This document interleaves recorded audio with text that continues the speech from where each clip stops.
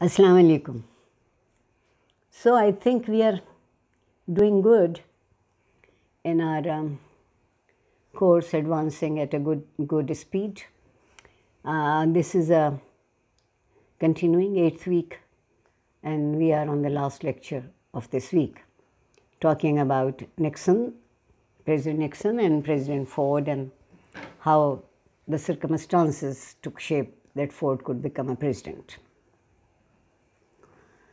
Nixon took office in 1969 and he projected uh, an image of calm and deliberate statesmanship. He did not make any strong promises of very startling changes, proposed no important new legislation. Indeed, he accepted more or less uncritically the New Deal, New Deal, New Deal approach to managing the economy and he was more concerned with the solution of the Vietnam problem. And he think he thought that it was his chief task. Nixon first proposed a phased withdrawal of all non-South Vietnamese troops to be followed by an internationally supervised election in South Vietnam. The North Vietnamese rejected this scheme and insisted that the United States withdraw its forces unconditionally. If the United States could not prevail with a half a million its forces, then how the North Vietnamese negotiator asked Henry Kissinger, who was the American negotiator, can you succeed when you let your puppet troops to do the fighting? The question Kissinger later admitted tormented him. And the president responded to this dilemma by trying to build up the South Vietnam armed forces so that American troops could pull out without South Vietnam being overrun by the communists. The communism and its fear has been some something for Americans. He shipped so many planes to the Vietnamese that they came to have the fourth largest air force in the world. The trouble with this strategy called Vietnamization was that for 15 years the United States had been trying without success to make the South Vietnamese capable of defending themselves. These steps did not quiet American protesters. They raised their voice to shouts. On October 15, an anti war demonstration, Vietnam Moratorium Day, was organized by students and led to an unprecedented outpouring of protest all over the country. This massive display produced one of the Vice President's Agnew's most notorious blasts of adjectival invective. He said that the moratorium was an example of national masochism led by an effete core of impudent snobs who characterize themselves, who characterize themselves as intellectuals. More protests started to join in. For a while, events appeared to vindicate Nixon's position. A gradual slowing of military activity in Vietnam had reduced American casualties. Troops withdrawals continued in an ordinary fashion but in a very orderly fashion. A new lottery system for drafting men for military duty eliminated some of the inequities in the selective service law. But the war continued. Early in 1970, reports that in 1960 an American unit had massacred civilians, included dozens of women and children in a Vietnamese hamlet known as My Lai, revived the controversy over the purpose of the war and its corrosive effects on those who were fighting.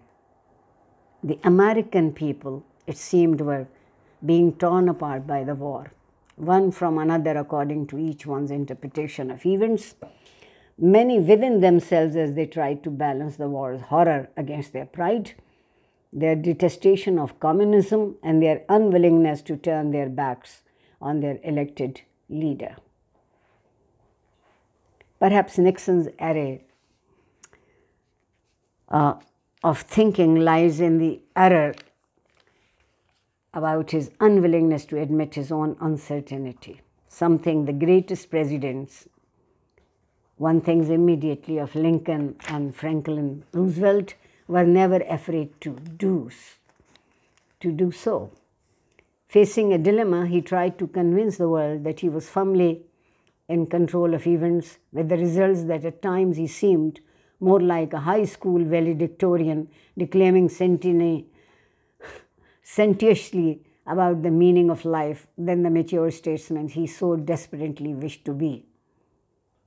So he heightened the tension between America, Vietnam, and elsewhere.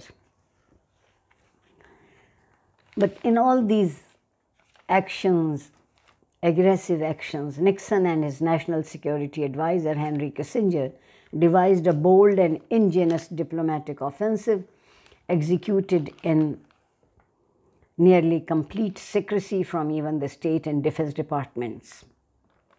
Nixon and Kissinger made an effective, though not always harmonious, team. They were both so self centered that they did not always trust each other. Kissinger, who kept track of his own staff by bugging their phones, accused Nixon's top aides of doing the same to him. First, uh, Nixon and Kissinger, aside from all this, secretly um, agreed to send Kissinger secretly to China and the Soviet Union to prepare the way for summer summit meetings with the communist leaders. Both the Chinese and the Soviets agreed to the meetings. So in February 1972, Nixon and Kissinger, accompanied by a small army of reporters and television crew, flew to Beijing. After much dining, sightseeing, posing for photographs, and consultation with Chinese officials, Nixon agreed to support the admission of China to the United Nations and to develop economic and cultural exchange with the Chinese. As a result, export to China increased substantially, reaching 4 billion in 1980. Among other American products, the Chinese were introduced to Coca Cola marketed under a name meaning tasty happiness. And let me remind you here that Pakistan government under Bhutto was basically very instrumental in sending Kissinger to China in this secret mission. In May 1972, Nixon and Kissinger flew to Moscow. This trip also produced striking results. The mere fact that it took place while war still raged in Vietnam was remarkable. By the summer of 1972, with the presidential election looming in the fall, Kissinger redoubled his efforts to negotiate an end to the Vietnamese war. By October, he and North Vietnamese had hammered out a settlement calling for a ceasefire, the return of American prisoners of war, and the withdrawal of United States forces from Vietnam. Shortly before the presidential election, Kissinger announced that the peace was at hand. In 1973, also, Kissinger was named Secretary of State and he did receive the Nobel Prize for Peace. The economy under Nixon um, in 1969 went the through a major economic problem he faced was inflation. A 7.9% devaluation of the dollar in December 1971 helped the economy by making American products more competitive in foreign markets. In handling other domestic issues, the president was less firm after his triumphant re election and the withdrawal of the last American troops from Vietnam, Nixon turned to domestic issues, determined that he made clear to change the direction in which the nation had been moving for decades. But in March 1973, James McCord, a former agent of the Federal Bureau of Investigation, F, F, FBI, accused of burglary, wrote a letter to the judge presiding at his trial. His, act, precipitated a series of disclosures that first disrupted and then destroyed the Nixon administration. Most people took uh, the president at his words when he said that I can categorically, he announced in June 22nd, that no one on the White staff, no one in the administration presently employed was involved in this very berserk incident. But these um, revelations led to the more misgivings than any confidence building process. One result of the growing scandals and of Nixon's attitude was a decline in his standing in public opinion polls. They were calling for his resignation, even for impeachment. And yielding to pressure, he agreed to appoint of an independent special prosecutor to investigate the Watergate affair. And he promised the appointee, Professor Archibald Cox of Harvard Law School, full cooperation. But the troubles were not lessening for Nixon, they were getting more and more.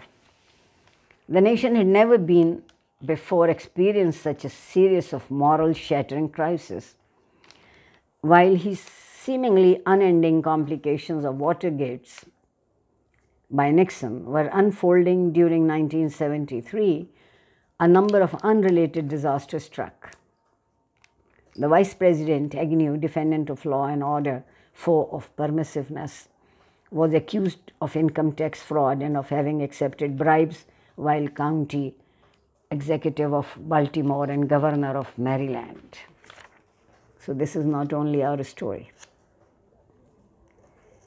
But the judgment on Watergate really shattered American political, not only the political smear of this time, but even the political expectations and people's uh, political ideals.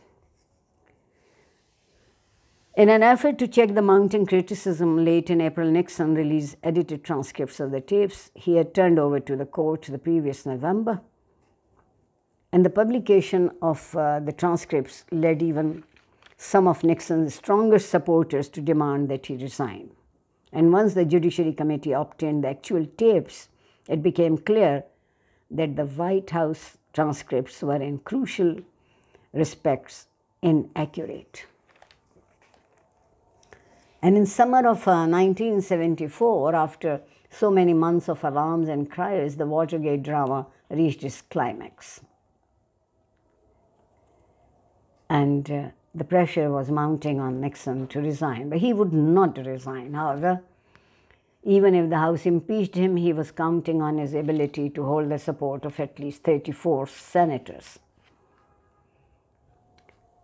But this Richard Nixon was found that there were unmistakably his fingerprints. The president's chief advisor then pressed him to release the material at once and to admit that he had erred in holding it back. And so, this he did on August 5 when they read the new transcripts. All the Republican members of the Judiciary Committee who had voted against the impeachment articles reversed themselves. Nixon's own drama is and must remain one of the most fascinating and enigmatic episodes in American history. Uh, the explanation that he gave, however tentative, is at least comforting. It made him appear less menacing if it is correct. Americans can deplore the injuries he inflicted on society and still feel a certain compassion after this uh, tragedy with Nixon, Ford uh, became the president, and it was again his good fortune to become a president by default. Thank you. See you next week.